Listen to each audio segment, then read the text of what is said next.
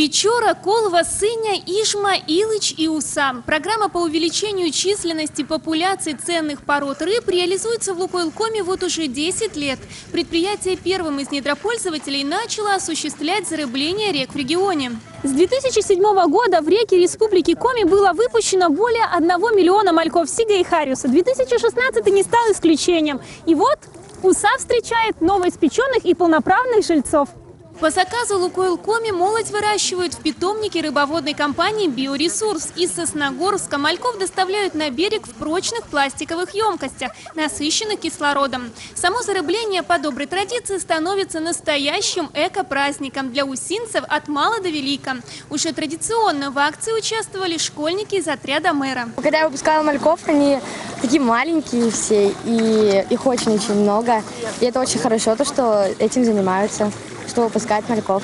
Мы ловим рыбу, и в конце концов ее в реке становится меньше. Сейчас ее, получается, выпускают, и становится больше. Вы одобряете? Я одобряю. В этом году участие в экологической акции приняли исполняющие обязанности министра природных ресурсов и охраны окружающей среды республики Роман Полшветкин, руководитель Росприроднадзора по Коми Александр Попов, руководство Усинска, представители общественных организаций, в частности общественного движения Коми Войтер. Это маленький праздник, потому что в реке зарождается новая жизнь сейчас. И не просто новая, а в размере 111 тысяч мальков Сига. Очень приятно, что э, компании, добывающие компании э, занимаются такой реконструкцией э, нашей природы. Конечно, любая деятельность, она неминуемо влияет на природу. И вот тем самым мы можем, проводя такие акции, мы помогаем ей восстанавливаться.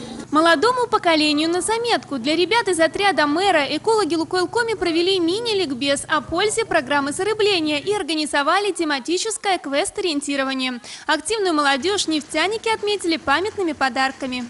Алиса Науменко, Семен Басистов, телерадиокомпания «Усинск» специально для программы «Регионы Лукойла».